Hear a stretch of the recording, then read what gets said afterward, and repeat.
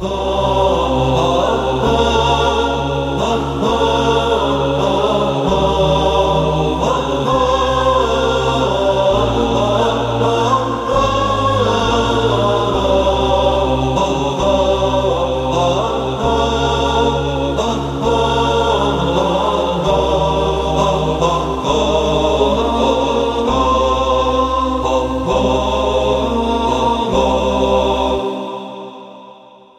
بسم الله الرحمن الرحيم.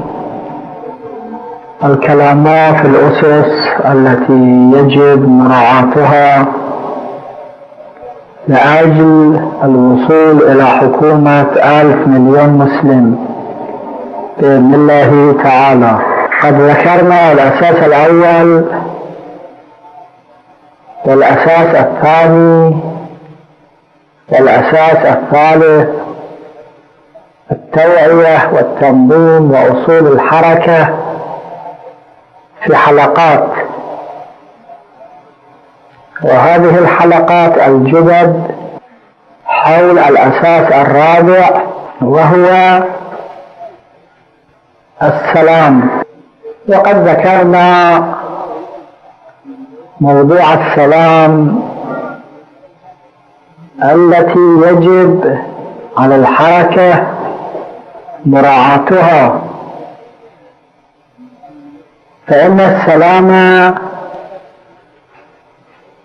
دائما يصل إلى النتيجة أحسن والمسالمون الذين يحيطهم جو من السلام مهما كان لهم من الأعداء فإنهم يبقون وحتى إذا عثر بهم الزمان وسقطوا ظاهريا سقوطا وقتيا فإن البقاء والدوام لهم القائمون بالحركة إذا أحاطوا أنفسهم بجو من السلام أولا يكتفون أعداءهم فلا يتمكنون من القضاء عليهم. وثانيا إذا فرض أن الأعداء تمكنوا فإنما تمكنهم وقتي. وسينتهي الشوط إلى تقدم المسالمين. فهذه طبيعة الحياة. ولذا نرى الأنبياء والأئمة عليهم الصلاة والسلام دائما كانوا يجنحون إلى السلام. فهذا رسول الله صلى الله عليه وآله وسلم حتى في أعلى درجات قدرته كان يرجح السلام وحروب رسول الله كانت دفاعية كما ثبت في التاريخ. فلم يبتدئ بحرب وكان إذا حارب حربا دفاعيا هذه الحرب كانت تتصف بالسلام في أغلب شؤونها إلا القدر المضطر إليه اضطرارا قصوى. ولذا تقدم رسول الله صلى الله عليه وآله وسلم ذلك التقدم الهائل وإلى اليوم الرسول في تقدم مضطرب وما من يوم إلا ويزداد عدد المسلمين مع هذه الكوارث التي واجهت الدولة الإسلامية من أول يوم إقامتها رسول الله صلى الله عليه وآله وسلم وإلى هذا اليوم من الكيد والمكر وما أشبه. لكن الرسول ودينه في تقدم مضطرب وكذلك نرى عليا عليه الصلاة والسلام قد جنح إلى أكبر قدر من السلام. إنه لم يحارب أهل الجمل وإنما هم حاربوه. وبمجرد أن انتهت الحرب الإمام عليه الصلاة والسلام عاشر البقية معاشرة الأصدقاء والإخوة وكأنه لم يكن شيئا مذكورا كما ذكرناه ذات الليلة. وكذلك نراه في حرب النهروان. الخوارج هم الذين حاربوا الإمام وأشاعوا عليه الدعايات وواجهوه حتى بالسب.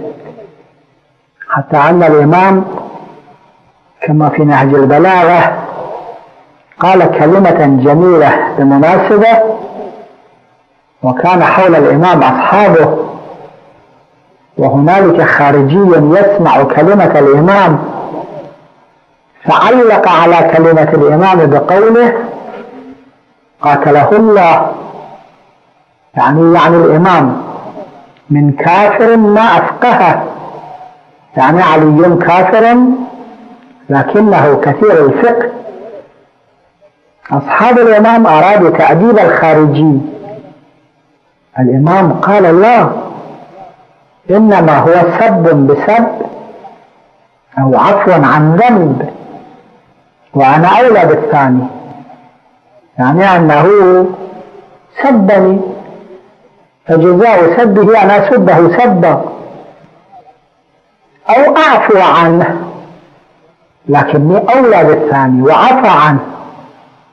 وبالفعل الإمام تمكن أن يسيطر على حركة الخوارج والتي كانت حركة انحرافية بالنسبة إلى أناس لم يكونوا قد ملئوا من الإيمان والفضيلة والتقوى فلعبت بهم الأهواء وورد في التاريخ أن الإمام عليه الصلاة والسلام لما انتهت حرب الخوارج عفى عن بقيتهم فلا سجنهم ولا قتلهم ولا أي شيء آخر وإنما كانوا في الكوفة وفي غير الكوفة وينتقصون الإمام والإمام ساكت عنهم لأن الإمام كان يعلم أن المسالم هو الذي يتقدم وبالفعل تقدم الإمام حتى أن في قضايا متعددة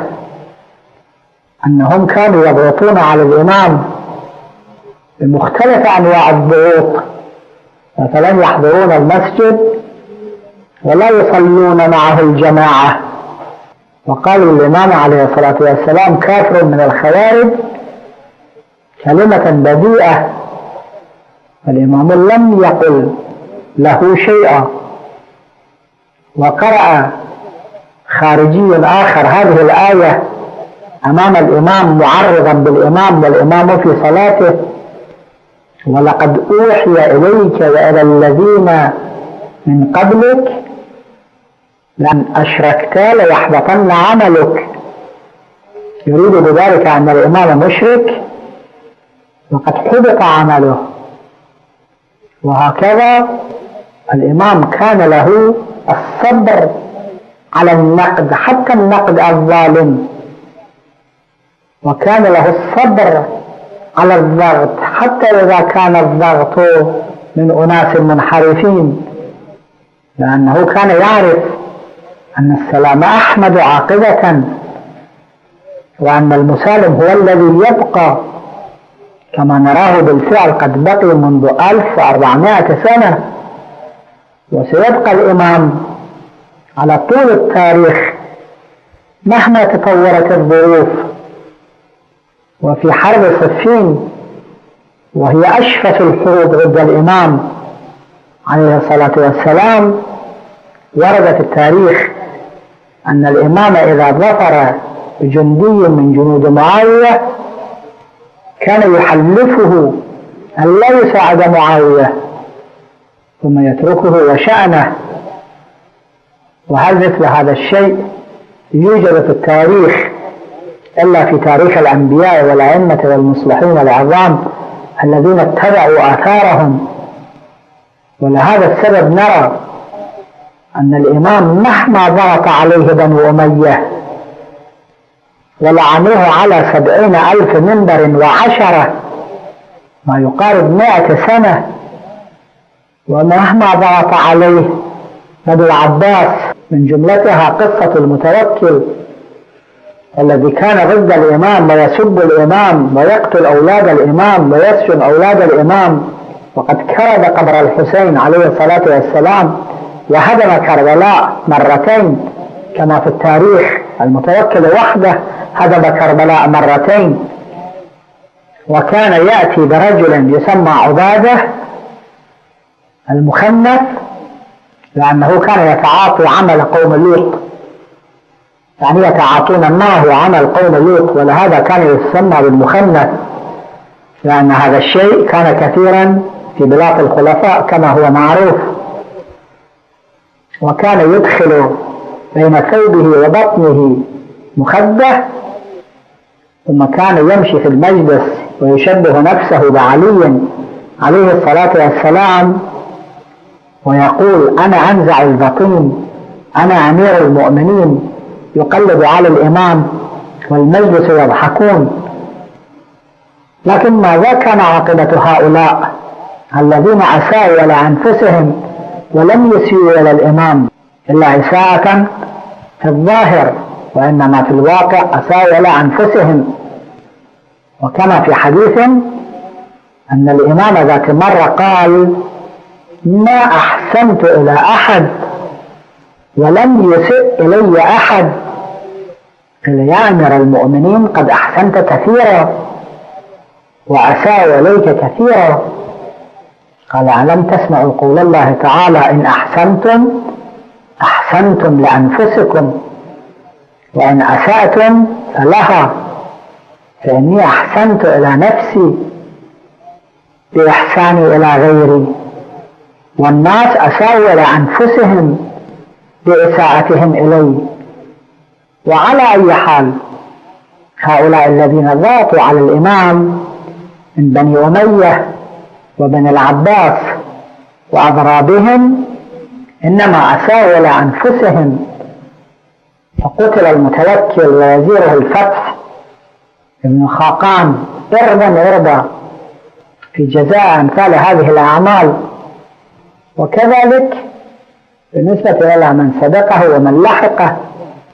والإمام بقي كالطود الشامخ وكالشمس المضيئة يستنير بنوره أكثر من ألف مليون إنسان ألف مليون منهم مسلمون وغيرهم من المسيحيين وغيرهم ممن يعتزون بالإمام. إنما كان ذلك طبيعة الحركة للإمام من السلام التي اتخذها شعارا في حياته الشخصية وحياته العائلية وحياته الاجتماعية. ولما ضربه ابن ملجم طلبه الإمام وقال له الإمام ألم أحسن إليك؟ ألم أزد في عطائك؟ فهو مع علمه أنه يقتله لإخبار رسول الله إياه بقتل ابن ملجم له. مع ذلك كان زاد في عطائه. وأحسن إليه. وبعد أن ضربه ابن ملجم الإمام كان يأمر بمداراته وأنه إذا شرب شيئا من اللبن أبقى البقية وقال أطعموا أسيركم.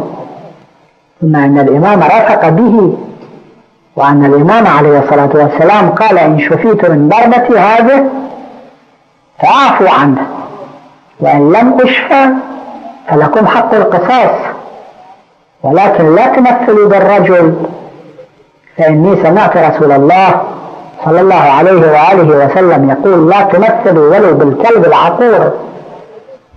وهكذا معاوية ذهب إلى حيث ألقت رحلها أم قشعم والخوارج ذهبوا وأصحاب الجمل ذهبوا والمتوكل والمأمون والهارون الذين كانوا يعادون الإمام وهارون ذهبوا كلهم وهكذا فالواجب أن يكون شعار الحركة السلام السلام قولا السلام فعلا السلام كتابة مهما وجدت الحركة سبيلا إلى ذلك.